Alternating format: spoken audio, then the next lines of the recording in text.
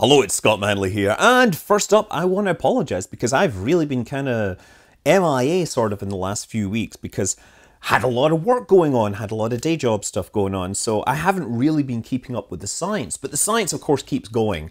And uh, I'm just going to kind of talk at the camera about the things that I'm I'm interested in. Well, actually there's really two things that I'm interested in. First of all, the Gaia data release 2. So Gaia is this European mission which has been doing high precision astrometry. That is, trying to figure out the exact locations of stars uh, on the sky. And they can do this to something like 7 micro arc seconds. And the way it works is a spacecraft that rotates, scans the sky, and has two telescopes at about 160, degree, 106 degrees apart. And they, by measuring the stars relative to each other and then scanning the whole sky, they can apparently figure out where everything is to yeah, you know, seven micro arc seconds, which is just staggeringly small. Of, and then if you do this over time, of course, you then get parallax data, you get proper motion data. They're doing very limited amount of uh, spectroscopy so they can measure radial velocities. This mission, they've released something like 1.3 billion, I was going to say million, 1.3 billion stars with uh, you know, high quality, relatively high quality data. So this is reshaping our understanding of distances in the galaxy. They have some amazing tools and you can play around with it. You can get the data. I'm going to admit every time I've gone there, the site has been overloaded because of course there's actually real scientists collecting the data and doing useful stuff with it. But the other thing that I really, really got my attention the last week was accounting. And that may sound a little out of sorts, but it is basically doing the numbers on the finances of spacecraft. Specifically, NASA's Commercial Orbital Transportation uh, Program and their Commercial Resupply and the Commercial Crew Program. Between these, they've spent something like $18 billion, or that will be their ultimate expenditures till like 2024 or something like that. So NASA's Office of the Inspector General, they published a report looking at all these programs, and it sheds light on all sorts of interesting things. Now, whenever SpaceX comes up on one of my videos, whenever I cover it, you know, you're going to get the Elon fanboys that come in that say SpaceX is the cheapest, Elon is amazing, he's going to take us all to Mars. And, you know, I love you, the fact that you guys like him, but, you know, realism has its place, and there is such a thing as Elon time. He does frequently overpromise and underdeliver. But I like the guy, and I'm going to give him a lot of your credit for it. But on the other hand, you have the Elon haters, and many of these people come in and they claim that Elon is a con artist, that SpaceX are just taking huge amounts of NASA money and not getting giving anything in return. They're burning taxpayers' money to make the company look good. And a lot of that narrative actually is driven by, sometimes it's driven by articles that are being promoted by more traditional space services that perhaps don't like competition in the market. And, you know, this is, uh, I'm perhaps exaggerating a little here, but this report, the, the OIG report, actually just shows you how much money is being spent here. It's something like $60,000 per kilogram to put uh, cargo to the space station. What's missing is how much it used to cost sending stuff on a, a Progress spacecraft to uh, the space station. I think a seat on a Soyuz for an astronaut is something like $80 million. So this is clearly a lot cheaper than that, but an astronaut isn't just a piece of meat uh, floating in a you know, can of spam or whatever. Europe used to have their automated transfer vehicle. It's no longer flying. Uh, Japan, they uh, had a transfer vehicle for a while, but it's not doing anything either. So yeah, uh, commercial resupply is uh, where a lot of this stuff is coming from. And there's two parts to commercial. There's two uh, participants in commercial resupply. There's SpaceX that used the Dragon spacecraft, and there is Orbital ATK with their Cygnus spacecraft. Both have had their uh, teething problems, both have had launch failures. Uh, in particular, the ATK one was one of the more spectacular ones. Uh, they, of course, have then since gone on to rebuild their Antares rocket. Uh, the Antares rocket, actually, it's, it's worth noting that Orbital ATK, this is a real international vehicle. I hadn't been aware of that. the first stage booster, the tanks and uh, the structure are from the Ukraine. The engines are from Russia. The second stage solid rocket booster is from, you know, Orbital ATK, and of course the spacecraft, the Cygnus spacecraft, is their own. Um, now, they charged a whole lot more per launch than SpaceX for the first phase of commercial resupply. And, you know, that made SpaceX look very, very cheap in comparison. The Cygnus actually could carry a little more cargo by mass to orbit, and so that made it look better in some ways. But it actually got even better performance than the Dragon because the Dragon had space issues. It turns out that while the Dragon could carry something like three and a half tons of cargo, they never filled it up that much because they couldn't fit that much cargo into the spacecraft.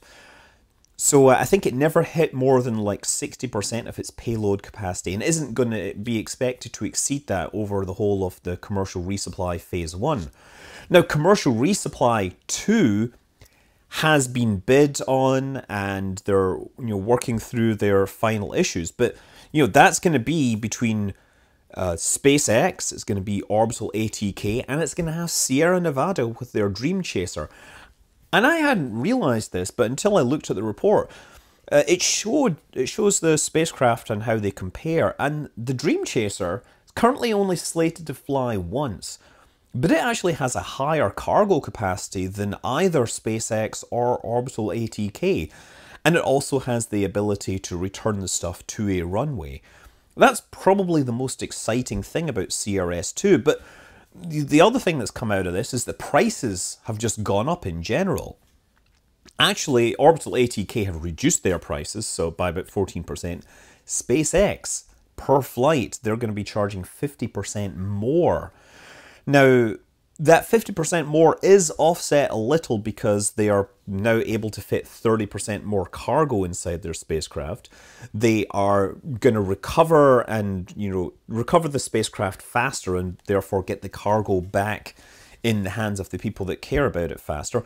And since it's going to be a Dragon 2 capsule, it's actually going to be able to dock autonomously with the space station, which in theory means the ast astronauts can kind of do their own thing without having to go through the whole grabbing the spacecraft with the robot arm and berthing it.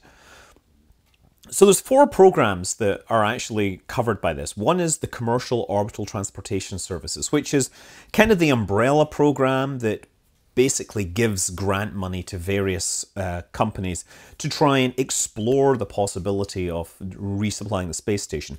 And in the early days of COTS, a whole bunch of different companies were involved. And, you know, Boeing was involved in the, was trying to pitch for cargo delivery. I think they wanted to put the European transfer vehicle on top of a Delta, for example. And Lockheed Martin had a similar idea, but they were going to use a, an Atlas V um, there was ob- obviously Rocketplane Kistler, which failed to go anywhere, and their money ended up going, you know, getting shared around. But out of those programs came, you know, SpaceX and Orbital ATK, which actually got contracts. So CRS1, Commercial Resupply 1, that was actually a series of contracts where if they failed them, there would be penalties. Similarly, Commercial Crew, which hopefully will have the first test flights this year, that originally the research was you know funded by COTS, but now it's funded by a commercial crew. And here's where you know you've got a great data point for all those people that are you know are persuaded by the myth that uh, Elon is some kind of huckster, right? Because they always ignore the fact that Boeing and SpaceX are the two companies involved in commercial crew. And Boeing are charging something like 40% more than SpaceX for the same services. Um, yeah, this is it's a really interesting report. It covers a, a, lot of interesting details that I hadn't actually wasn't totally aware of at the time. Um, they, they talk about the aftermath of the two failed launches, the you know the the Antares failure and the um, the SpaceX CRS-7 failure they also, you know, cover that prices rose in general because the same money for the second phase of resupply is now being split between three companies instead of two. And while that in theory is supposed to add diversity and uh, ensure against you know failures by providing multiple partners, it does mean that the average cost of everything has gone up because now the integration costs have, to, you, know, you need more money for integrating the new designs for te- testing and uh, fewer flights overall. So yeah, I mean it, it's uh, it's really kind of fascinating to look at this and realize that yeah we're spending like $70,000 per kilogram. That's that's what the plan is. And realize even at that price that's still way cheaper than it was to send stuff up to the space station on the space shuttle. That didn't happen very often. They did take cargo up but yeah, most of the cargo ended up coming up on Progress and other spacecraft. I also looked, and, and apparently there's been something like a hundred, over a hundred flights to the space, over a hundred unmanned, uncrewed flights to the space station. Some have been failures, but I think we're at like 99 successful automated spacecraft sent to the space station. So soon we will pass that magic 100. Other, uh, another interesting thing that I, I see is they commented very specifically on the Dream Chaser using the Atlas V and how that makes it way more expensive than it should be.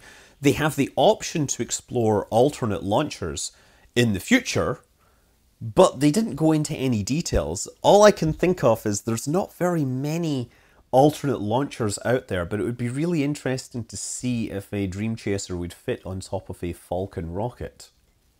Another bit that caught my eye was the observation that while this report was just looking at the commercial services that NASA was contracting for directly, it did point out that by funding SpaceX and giving SpaceX the ability to you know demonstrate the ability to launch these payloads, it means now that they can actually offer these services to other payloads that NASA needs. And this has then had the effect of driving prices down in general. So money spent here has actually saved NASA money elsewhere. Another thing I noticed was that um, Sierra Nevada are not going to really do a test flight of their Dream Chaser because it's not required. They're going to fly to the space station on their first launch, which is you know impressive if they can pull it off. They're they're going to have kind of a shorter window to scale up their stuff, but obviously I'm excited to see this happen. And the whole report really is kind of more like a high level management thing, but there's so much, so many interesting pieces of information that are coming out of this. Not technical information, but more the kind of decisions that managers need to take when they're trying to keep the International Space Station supplied and running. And this is the most expensive object ever built by people. Uh, and uh, yeah, interesting times. So yeah, I'm just gonna you know sign off, and I'm gonna try and get back to doing some science. I've got like three or four scripts written now that I need to actually record. Still have going nuclear. Yeah, you know, episode six with this uranium enrichment is there, but I keep finding new and interesting stuff that I need to shift shuffle stuff around to fit in. But yeah, uh, I will be around and I will see you guys. I'm Scott Manley. Fly safe.